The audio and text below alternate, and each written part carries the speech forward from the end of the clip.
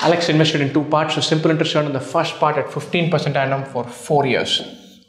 Simple interest 15% into four years is the same as a simple interest earned in the second part at 12% for three years.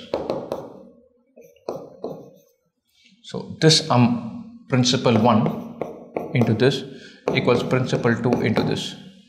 P1 into 0.6 is P2 into 0.36. This into 60 is that into 36. This into 5 is that into 3 or the ratio of the principals Is 5 is to 3, 5k and 3k. Then the percentage of savings invested in the first part. So the ratio is 5 is to 3.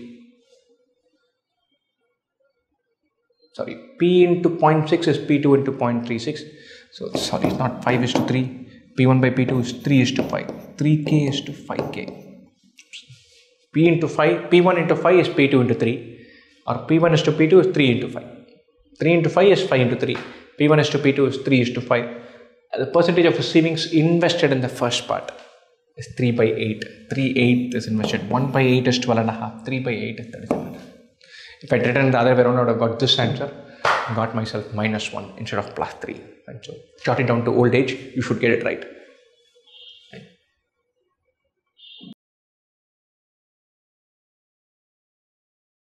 right.